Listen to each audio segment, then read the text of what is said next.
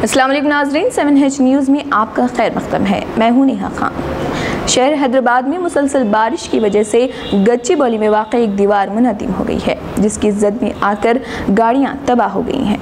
आइए, पेश है एक रिपोर्ट। शहर हैदराबाद में बारिशों का सिलसिला जारी व सारी है। शाम के अवकात में मतला और आलूद हो जाता है।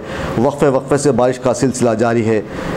दो तीन दिनों से जारी इस बारिश के बायस गच्ची बौली में वाक़ एक मखदूश दीवार अचानक गिर पड़ी, जहाँ दो कारों को पार किया गया था। दीवार के पत्थर इन कारों पर गिर पड़े, जिसकी वजह से ये कारें तबाह हो गईं। ताहम, यहाँ किसी इंसान के ठहरने की कोई इतला नहीं। अगर यहाँ पर कुछ इंसान ठहर जाते तो कीमती जानों का नुकसान हो जाता। हुकूमत को चाहिए कि ऐसी जगहों का अहाता करते हुए एहतियात बरती जाए।